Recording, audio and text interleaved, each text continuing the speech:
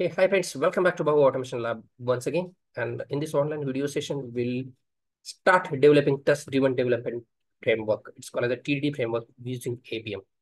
There are lots of advantage using this uh, TDD test-driven development framework in Appium. Okay, so without wasting time, we'll start from the scratch and uh, very advanced level. So watch this video uh, tutorial cycle uh, one by one in the part sessions. Okay. So first of all, let's understand what is how we can develop this framework or what is TDD framework. Okay, so TDD is called stage-driven development framework.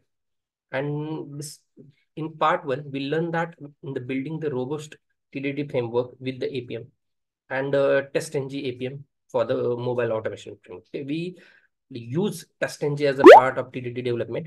Okay, so TestNG framework is the most popular framework. I have already set a uh, like a series on TestNG. You can watch that as well if you want to learn more about TestNG. So we are using TestNG uh, framework framework integrated with the TDD test development. It will uh, give us a more advantage while developing this framework. Okay, so from the scratch level, you can learn everything until advantage or advanced level, and we can get more advantage while developing this framework and automating the test, test scripts.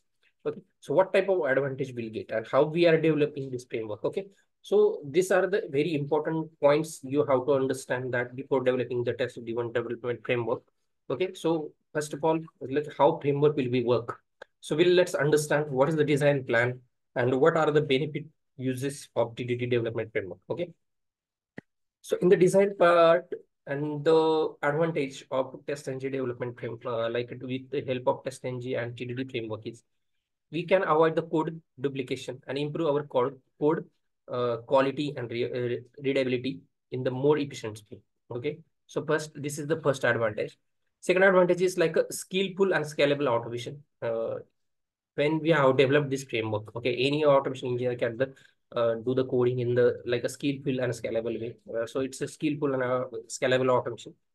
Integrated the synchronization techniques such as implicit and explicit waits into the automation framework to ensure the reliable and uh, efficient test execution. For example, uh, if we develop uh, the normal framework or if you are like a, developing normal script in automation, then uh, we are using the implicit and explicit and uh, like a fluent wait, these types of wait while developing the framework, right? So we are like in the TDD framework, while developing this framework sessions, we are understand how efficient way we can use this synchronizations method like implicit and explicit wait. We are more focusing on the explicit wait because this wait is more uh, visible and powerful for the particular element only. So we'll understand that concept. But this is the uh, like designing part and uh, the benefits of using TDD framework. This is the third benefits.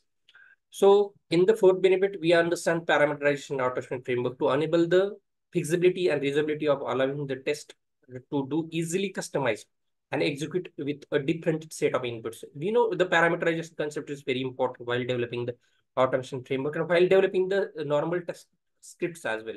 Because uh, if you do the parameterization in the proper way, one set of data you can use the multiple time or multiple time uh, in the your script. Whenever we require that uh, data in any script, you can easily uh, use that uh, test data in your script and you can uh, like develop your script. So this is the very important part. part. We are include that parameterization in our test development framework.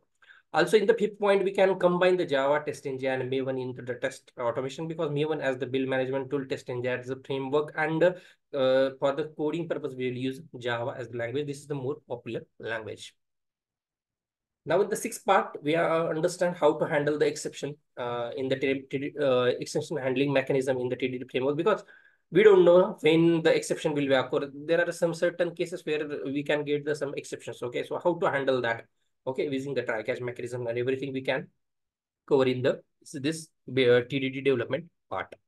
Okay, so uh, let's understand some more uh, more like uh, benefits and uh, design part related to this like we, we will use like enhanced test reporting with the extent report. So we will use uh, extent reports to log in the uh, test steps okay? And uh, it is a very beautiful html re uh, report which which will automatically get created whenever you run the test scripts or your test suits or sanity level suits or regression level suit in your uh, particular framework, and if you like add some email part in that, it will automatically send to your management and all those things. So this is the very popular and uh, beautiful uh, reporting tool uh, which we can use in the TDD test driven development design plan and in our test like a test driven development framework as well. So we will use exchange report as a reporting purpose. So it benefiits the test data management. For the test data management, we can use a, a JSON's integrations because JSON is the very lightweight data integrations. Whenever we require some data for your test uh, to run the test data, uh, like for example, we require the login user ID and password uh, for the login script. So this is the small uh, type of data we can store into the one JSON file and we can just combine that JSON, uh, integrate that JSON files with your automation script and we can use that JSON, uh, we can use that test data whenever it required. Okay, so we will uh, use a JSON file as a uh, test data management uh, purpose. For expected result test data management, for example, uh, whenever you log in, we require to check whether we are login successful or not. So we are checking that uh, that profile name and everything. What that data we require, we, we just like a comparing actual data with the expected data. So whatever expected data we required for that particular script, we can uh, store into the uh, .xml file, logstring.xml file. And this is also a little lightweight so that we can easily integrate with our test scripts and uh, we can develop the test test driven data driven framework. So this is the nine point uh, which we are developing our TDD framework. Okay. Also, we can generate some videos and screenshots captures, in test, test execution and attach that screenshot with the, our extent re, uh, report. So this will be help more to share that the management or the developer that this is the particular bug will uh, uh, capture at the time of a test execution. This is the uh, current video of my execution and this is the screenshot which is captured by the my script while executing the script. So this will be the entire uh, architecture so that easily we can understand and the runtime level we can capture the video and the screenshot whenever our script get failed. In the 11th point, we can understand automate the programmatically Appium server startup. For example, uh, we have to start the Appium server. First of all, before starting as a beginner level, we will start this Appium server through the uh, Appium desktop server itself. Okay. I'll just learn that how to start that Appium server programmatically as well. I have separate video on that, uh, separate session on that also. You can watch that session also, but in this TDD framework also, I'll cover that part. Okay. You can run that uh, Appium server programmatically as well. Okay.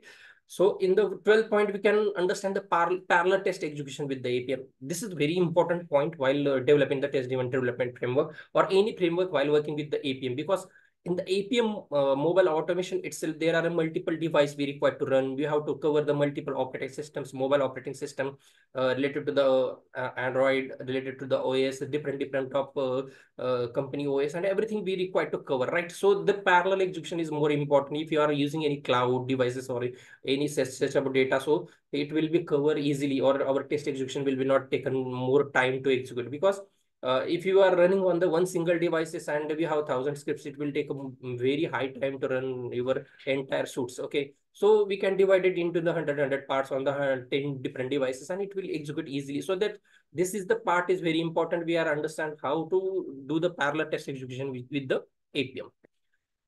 And also we will integrate uh, our Git integration in the framework development. So Git Hub, it's a very um, very important while uh, you are executing the code, right? In the real-time working, we have to integrate our all the script in, into the one Git server, okay? And we are committing that code into the Git server and our all the schedulers and everything we uh, using like a CI/CD and everything it will be executed from the Git uh, library. Oh, sorry, Git. Uh, what we can say Git cloud itself, right? So well, we have to integrate that how to integrate our framework with the GitHub we will learn that concepts also in this TDD automation framework.